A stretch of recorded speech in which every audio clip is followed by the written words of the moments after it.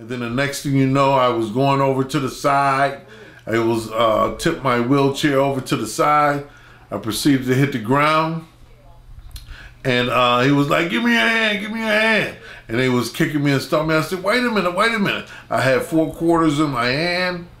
At the time, I was holding on to my four quarters. That was my bus fare.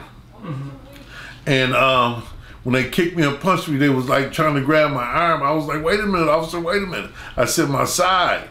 So then they proceeded to still grab me. Um, they were kicking and punching on me. I finally got my hand behind my back. Then they put the handcuffs on me.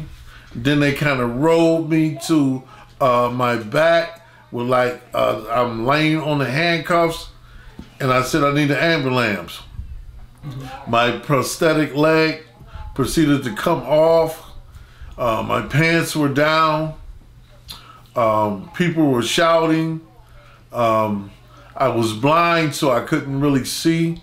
People were shouting, Stop! Stop! Why are you doing him like that? Stop! And uh, I heard so many voices. Um, then I thought that people were coming up and they, because I heard the officer say, Get back! Get back! Get back! And um, then it was like I was just laying there. Um,